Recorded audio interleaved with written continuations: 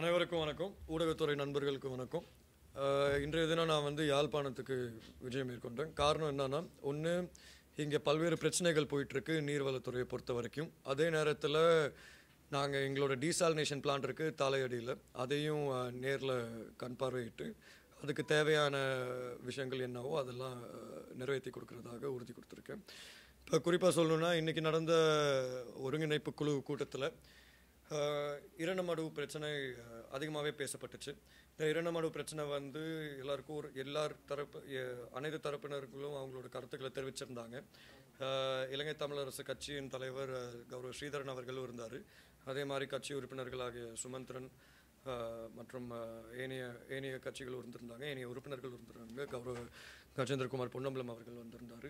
அதே நேரத்தில் அமைச்சர் டக்ளஸ் தேவானந்த் அவர்களின் தலைமையில் தான் இந்த கூட்டம் நடைபெற்றுச்சு. இந்த கூட்டத்தை பொறுத்த வரைக்கும் நாங்கள் இந்த இரணமடு பிரச்சனையை பேசும்போது பல்வேறு தரப்பினர்கள் அவங்களோட கருத்துக்களை தெரிவித்தாங்க எங்களை பொறுத்த வரைக்கும் நான் தெ- என்னோட கருத்து என்னோட அபிப்பிராயம் நான் தெளிவாகவே வெளிப்படுத்தினேன் என்னோட அபிப்பிராயம் வந்து இரணமடுவை பொறுத்த வரைக்கும் விவசாயிகளையும் பாதிக்காமல் அதே நேரத்தில் யாழ் மாவட்டத்தில் உள்ள மக்களுக்கும் குடிநீர் வசதி வழங்குறதுக்கான ஒரு தீர்வை கட்டாயம் பெற்றுக் கொடுக்கணும். இதில் என்னோட பொறுப்பு வந்து இது அனைத்துமே ஒரு ஒரு ஒரு ஆரோக்கியமான ரீதியில் செ செயல்பாடு கொண்டு வந்தாகணும். அதே நேரத்தில் இன்றைக்கி கூட்டத்தில் நான் என்னோட நிலைப்பாட்டை வெளிப்படையாக சொன்னேன். அதாவது இந்த பாராளுமன்ற உறுப்பினர்கள் கௌரவ பாராளுமன்ற உறுப்பினர்கள் யாழ் மாவட்டம் யாழ் மாவட்டம் மட்டும் இல்லாமல் வடக்கு வடக்கு மாகாணத்தை பொறுத்த வரைக்கும் இருக்கிற பாராளுமன்ற உறுப்பினர்கள் அவங்களோட பொறுப்பு பிரச்சனையை சொல்கிறது மட்டும் இல்லாமல் ஒரு தீர்வை முன்னால் வைக்கணும். ஒரு தீர்வை முன்வைத்தால் மட்டும்தான் எங்களுக்கு அந்த தீர்வை அமுல்படுத்த முடியும். ஆகவே நான் வந்து அனைத்து பாராளுமன்ற உறுப்பினர்கள் இன்றைக்கி கலந்து கொண்ட அனைத்து பாராளுமன்ற உறுப்பினர்களுக்கும் என்னோட நான் நன்றியை தெரிவிச்சுக்கிறேன். ஏன்னா அனைவருமே ஒரு தீர்வை பெற்றுக் கொடுக்கறதுக்காண்டி ஒரு வேலை திட்டத்தை அடுத்த பாராளுமன்ற அமர்வில் சமர்ப்பிக்கிறதா சொல்லியிருக்காங்க. அந்த கோ எங்களோட கோரிக்கைக்கு அமைந்து. அதே நேரத்தில் சில விவசாயிகள் அமைப்பின் தலைவர்களையும் நான் சந்தித்து பேசினேன். அவங்களையும் அடுத்த பாராளுமன்ற அமர்வுக்கு அழைப்புதல் விட்டிருக்கேன். அந்த அவங்களோட பிரச்சனையை பேசுகிறதுக்கு ஏன்னா இது கட்டாயம் ஒரு தீர்வு எடுத்தாகணும். இந்த தீர்வை எடுக்கிறதுக்காண்டி ஜனாதிபதியை ஜனாதிபதியை ஜனாதிபதியையும் அழைத்து அவர் மூலியமாக ஒரு தீர்வு கட்டாயம் பெற்றுக் கொடுப்போம்னு எனக்கு ஒரு நம்பிக்கை இருக்குது அது மட்டும் இல்லாமல் தலையடியில் இருக்க டீசாலினேஷன் பிளான்ட்டை பொறுத்த வரைக்கும் இந்த பகுதியில் வெறும் பதினோரு சதவீதமான ஜனத்தொகைக்கு மட்டும்தான் குடிநீர் வசதி இருக்குது இந்த டீசாலினேஷன் பிளான்ட் வந்து ஆறாவது மாதம் நாங்கள் திறக்கிறதுக்கு இருக்கோம். திறந்த பிற்பாடு கட்டாயம் நாற்பத்தி நாலு சதவீதமான மக்களுக்கு குடிநீர் வசதி வழங்கப்படும். அது மட்டும் இல்லாமல் நாங்கள் இப்போ இந்த கூட்டத்தில் இன்னொரு முடிவும் எடுத்தோம்.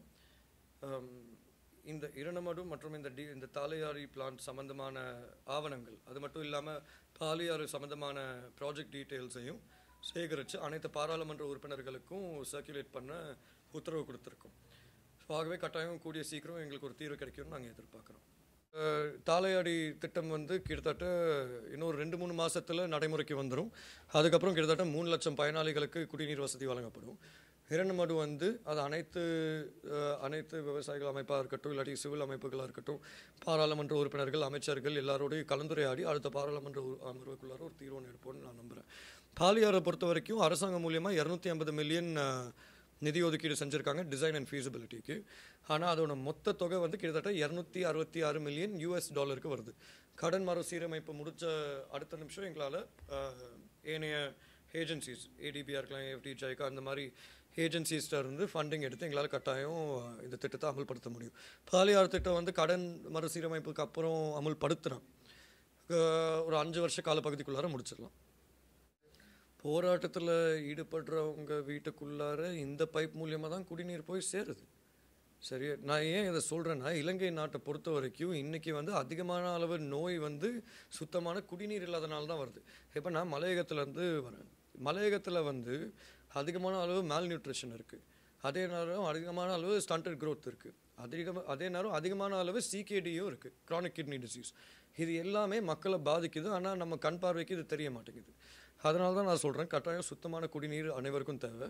ஆனால் நேற்று நாங்கள் அந்த அனுராதபுர வடக்கு சப்ளை ஸ்கீமை திறக்கும் போது கிட்டத்தட்ட இருபத்தி ஐயாயிரம் குடும்பங்கள் அது மூலியமாக பயன்ப பயனாளிகளாக மாறுவாங்க. அதே மாதிரி இதை முழுசாக முடித்தா ரெண்டாயிரத்தி முப்பத்தி நாலுக்குள்ளார அனுராதபுரம் பகுதியில் ஒரு லட்சத்துக்கு ஒரு லட்சத்தி பதினாலாயிரம் குடும்பங்களுக்கு எங்களால் சுத்தமான குடிநீர் வழங்க முடியும். ஆனால் இதில் இன்னொரு விஷயம் விவசாயிகள் அமைப்பு விவசாயிகள் மத்தியில் பிரச்சனைகள் இருந்துச்சு. அதையும் நாங்கள் ஏற்றுக்கிறோம் ஆனால் ஆர்ப்பாட்டம் செய்கிறது போராட்டம் செய்கிறது அது அவங்களோட சுதந்திரம். அதுக்கு எந்த விதமான தடையோ மாற்று கருத்தோ கிடையாது. ஆனால் அதே நேரத்தில் ஒரு அரசாங்கமாக ஒரு பொறுப்புள்ள அரசாங்கமாக நாங்கள் என்ன செஞ்சோன்னா அமைச்சர்கள் ஆகிய நான் மற்றும் ஷெஹான் சேமசிங் அவர்கள் மற்றும் சசீந்திர ராஜபக்ஷ அவர்கள் மூவரும் சேர்ந்து ஜனாதிபதி அவர்களை விவசாயிகளோட நேருக்கு நேர் கலந்துரையாட விட்டோம். விவசாயிகள் அவங்க பிரச்சனையை சொன்னாங்க அதே மாதிரி ஜனாதிபதி அதுக்கு ஒரு தீர்வு பெற்றுக் கொடுத்தாரு. அதே மாதிரி தான் இருநமடு பிரச்சனையும் நாங்கள் முடிக்க பார்க்குறோம் ஏன்னா நாளைக்கு விவசாயிகள் அமைப்பு இலங் கொழும்பு பாராளுமன்ற கட்டிடத்துக்கு வந்தால் அதே மாதிரி பாராளுமன்ற உறுப்பினர்கள் அனைவரும் எதிர்க்கட்சி ஆளுங்கட்சின்னு அதெல்லாம் மறந்துட்டு எல்லாருமே வந்து நாங்கள் ஜனாதிபதியும் அழைக்கிறோம். கட்டாயம் எங்களுக்கு ஒரு கலந்துரையாடி ஒரு தீர்வை பெற்றுக் கொடுக்க முடியும்னு எனக்கு நம்பிக்கை இருக்குது வட மாநிலத்தில் குறிப்பாக சொன்னால் மெதவாட்சி மெதவாட்சி அந்த பகுதிக்கு குடிநீர் வழங்கப்படுது. அது இல்லாமல் ரம்பேவுக்கு ரம்பேவ பகுதிக்கு குடிநீர் வழங்கப்படுது. அது இல்லாமல் வடமானத்தை பொறுத்த வரைக்கும் முக்கியமாக நான் சொன்ன இந்த மூணு ப்ராஜெக்ட் தான்.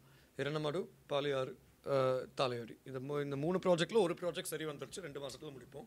என்னோட ஆட்சி காலத்துக்குள்ளார இந்த மூணு பிரச்சனைகளுக்கு ஒரு தீர்வு கட்டாயம் எடுத்து வருவேன் எனக்கு நம்பிக்கை இருக்குது பாக்கி இருக்க ரெண்டு பிரச்சனைக்கு. இலங்கை தமிழரசு கட்சியை பொறுத்த வரைக்கும் சரி இலங்கை தொழிலாளர் காங்கிரஸை பொறுத்த வரைக்கும் சரி பாரம்பரியமான கட்சிகள்.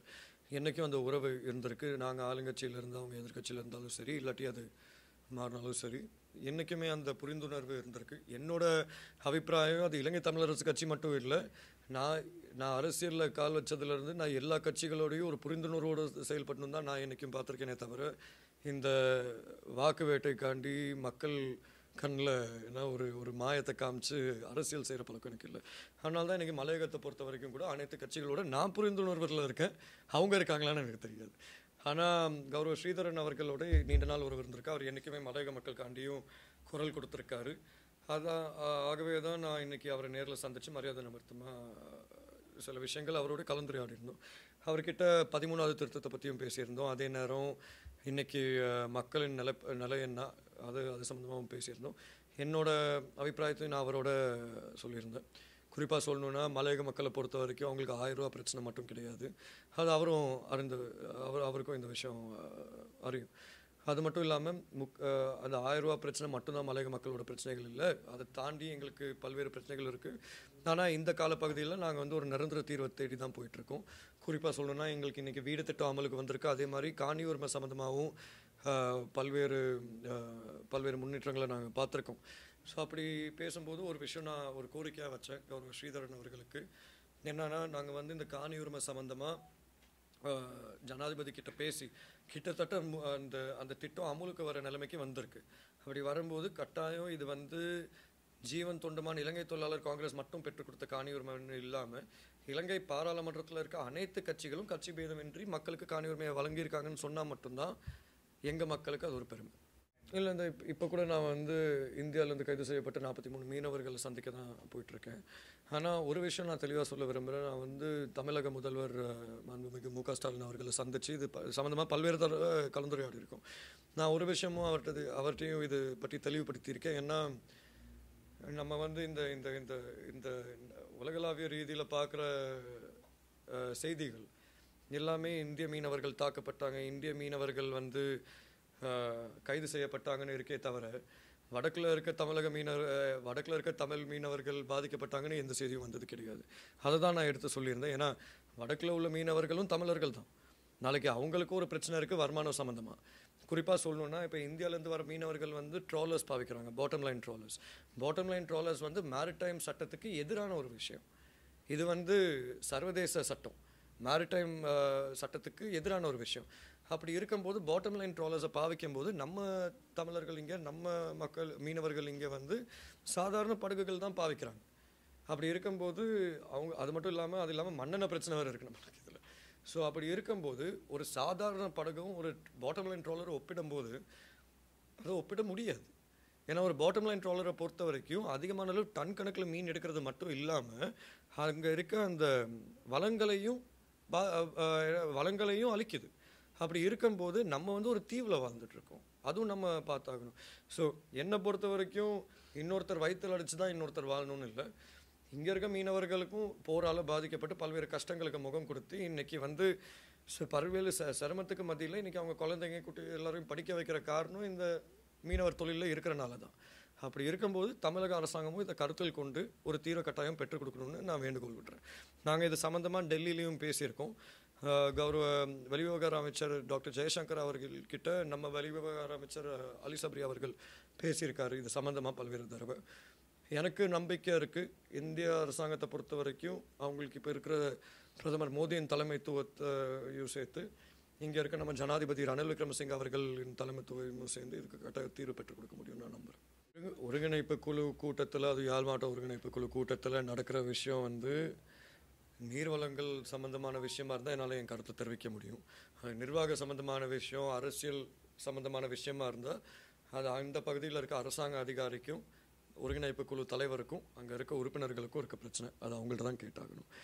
ஆனால் மற்ற கேள்விக்கு இந்த கௌரவ ஐ மீன் அதுமாதிரி ஜனாதிபதி ரணில் விக்ரமசிங்க அவர்களின் தலைமத்துவத்துக்கு அடியில் தான் பல்வேறு மாற்றங்கள் வடக்குலையும் ஏற்பட்டுச்சு கிழக்குலையும் ஏற்பட்டுச்சு அதே மாதிரி மலையகத்துலையும் ஏற்பட்டிருக்கு. அது யாரும் நிராகரிக்க முடியாத உண்மை. அப்படி இருக்கும்போது இந்த காணி வீடு வைக்கிறது சம்மந்தமாக பல்வேறு தரப்பினர்கள் ரணில் விக்ரம் கௌரவ ஜனாதிபதி அவர்கள்கிட்ட கோரிக்கை விட்டுருக்காங்க. எனக்கு தெரிஞ்ச அளவு அந்த புள்ளி விவரங்கள் எங்கள்கிட்ட இருக்குது அந்த நான் வந்து ஊடகத்துறையோட நான் பகிர்ந்து பகிர்ந்து கொள்கிறேன் ஆனால் கிட்டத்தட்ட என்னோடய கணக்கு கரெக்டாக இருந்துச்சுன்னா கிட்டத்தட்ட ஒரு இருபத்தி ஆறாயிரம் ஹெக்டர் வந்து ரிலீஸ் ஆயிருக்கு.